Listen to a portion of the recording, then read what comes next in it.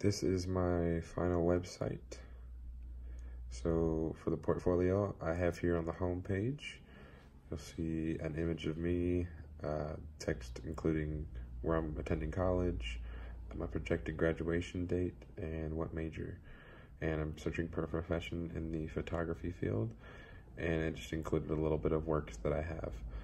Uh, then we'll go into the contact page and I have a little contact form that if anybody needs to send it out, fill it out. There you go. And it hovers over so it looks really nice and they can submit it. And then as soon as they say submit, it'll pop up a little thank you for submitting. And I have a little contact information on the bottom, copyright. Then we go to my resume page and I immediately have just a link to a PDF. So if we'll go open that up, you'll just see all my different uh, credentials go back.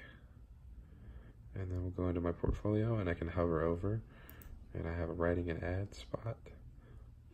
And you'll see these are all different hover over buttons uh, of different documents. So we'll just start out. I'll just say these two are uh, docx Word documents, so it'll take a couple minutes to download, but I can easily pull up these as PDFs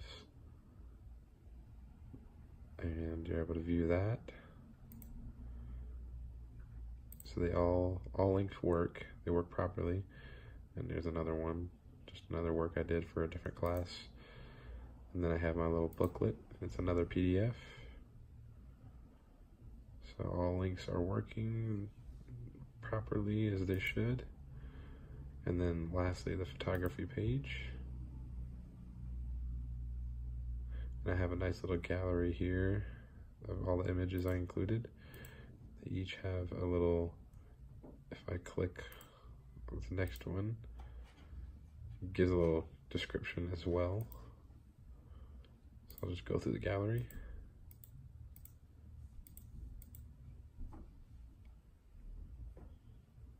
Yep.